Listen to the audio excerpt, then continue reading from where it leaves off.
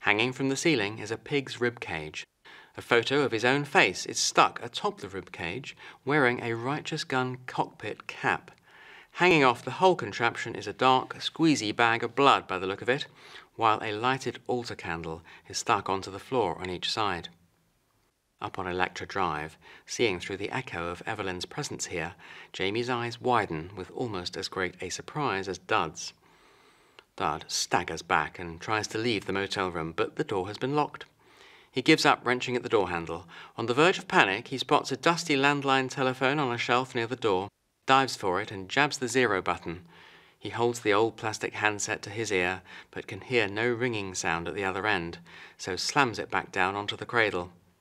He tugs at the window bars in vain, while darting his eyes about the room, hunting for any kind of key. He bangs on the door and shouts. No answer. Nobody appears and the squeezy bag of blood turns slowly in the air, spun around by the heat from the candles underneath.